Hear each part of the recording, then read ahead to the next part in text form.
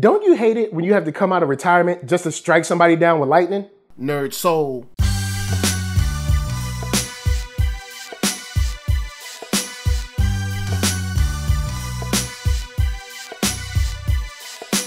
Le Ill Kid at one y'all, youngster holding it down, bring that street geek and nerd soul. What is up, my people? Today, oh, all year, coming with another wonderful episode of Talk Shop. I'm excited. We got a good one today. Oh, we gonna have some fun. We gonna talk about history. We gonna go back to the motherland, the the mystical, you know what I'm saying, the magical, the fantastical is getting wrapped up with some awesome art, some great writing, and we're talking about Comic Republic's Amadioha.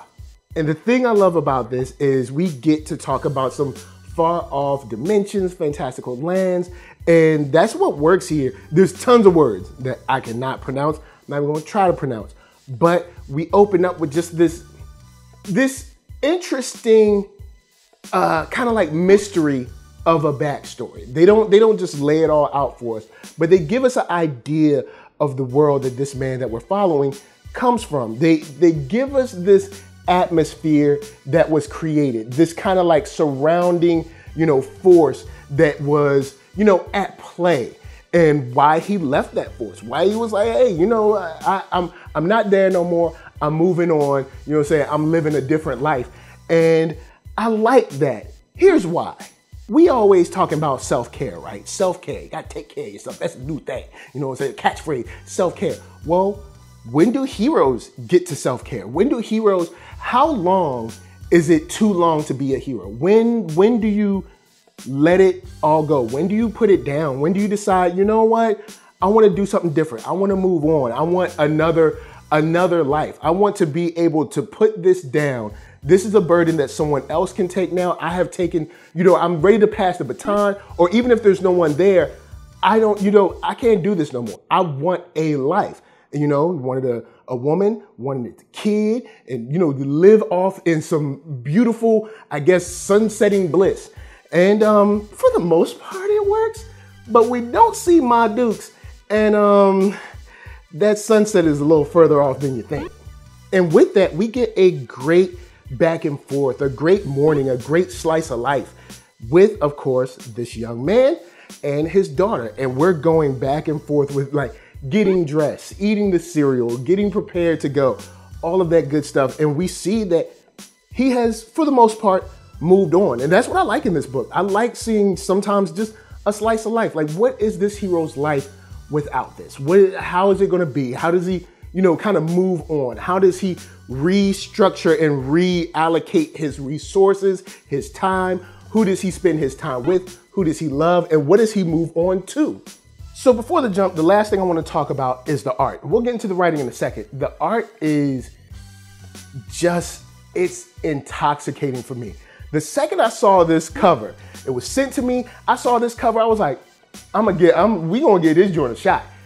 There is so much power in how they play with color, shadow in this, especially in the later pages when you know some some stuff comes up, and we'll talk about that after the break. But I love how the art here depicts our hero, our daughter, I mean, you know, the hero's daughter, you know, even the way it depicts like the dark villains, the dark ones that we get later on. It's, it's, man, it's really, really inviting and really engaging. The way they just handle electricity, the way they handle, you know, just the, the physical form in these issues or in this issue, I'm, I'm loving it because this, of course, is a visual medium. You need the art to hook someone and you need the writing to keep them. And the art has definitely hooked me. Now, I talked a little bit about the writing, but after the break, we're gonna get into some more. And there's a couple more things that I think y'all should know about this book. But first, KURO Brand's gonna help us pay them bills.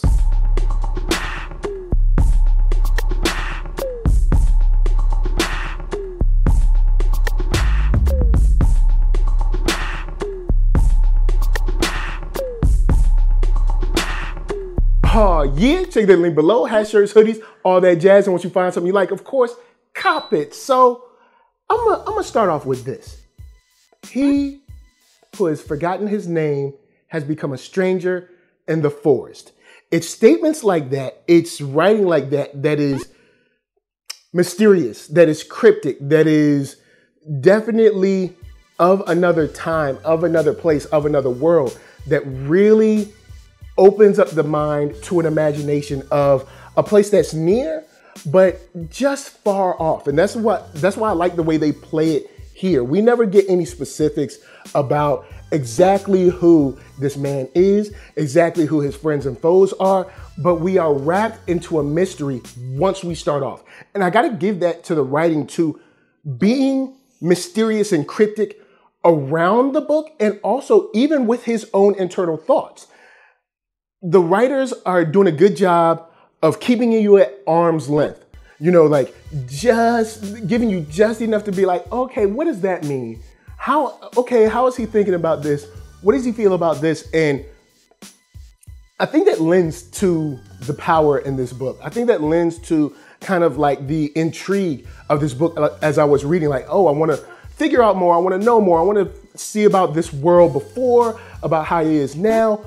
Who is he really? I think there's a lot more layers for us to peel back because we quickly go from what seems seems to be a normal, natural uh, day to a huge explosion, this huge change in tone. And I love how stark it gets from humdrum morning, going to work, dropping you off at school or whatever. And the next thing you know, there's an explosion. We have all these kind of mystic arts being going on. These people are possessed, using them as vessels. There's tons of crazy that we get wrapped into extremely fast because we get a new young player in the game. We get to talk about some sealing stone. We get all kinds of statements about what you can and can't be and what you can and can't do.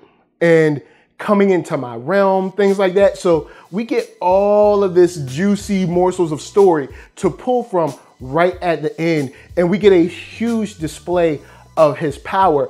And not only, of course, the display of the power, but also the whole mind frame and mindset of look, we know you've been trying to live your life and be happy and move on, but you gotta come back. And I like that. I yo, man, it, yo, somebody coming out of retirement gotta, you know, gotta put the jersey back on. I'm digging it. So guys, holla at me. I'm gonna holla at you. Down in the comments, let's talk about Amadioha. I'm pretty sure I'm mispronouncing it, and I apologize for that. But with that said, this book has, uh, you know, I'm a new dad, so, well, I'm not new dad. I'm getting kind of like a medium dad. But anyway, you got a father-daughter relationship in there. Love seeing the dad thing. We got all kinds of mystic abilities, digging that. We got possessions and weird dark winds and stuff coming through, loving that. And I love a strong show of force.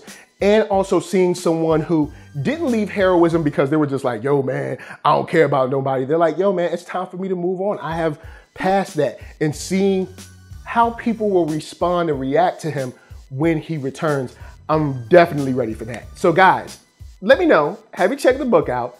Have you read it? Have you not read it? Are you interested in reading it? Let's talk about that down below.